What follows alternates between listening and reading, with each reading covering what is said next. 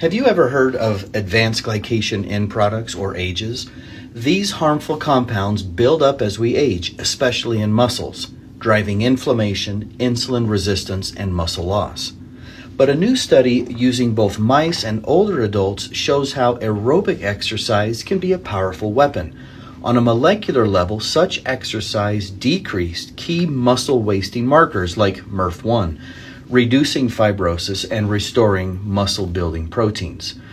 And in people over 65 years of age, high skin autofluorescence, that's a non invasive marker for AGEs, is linked with insulin resistance, climbing levels of glycation, weaker muscles, and poorer function. So lace up and move. Aerobic exercise counteracts AGEs, boosts muscle strength, and keeps you functional as you AGE.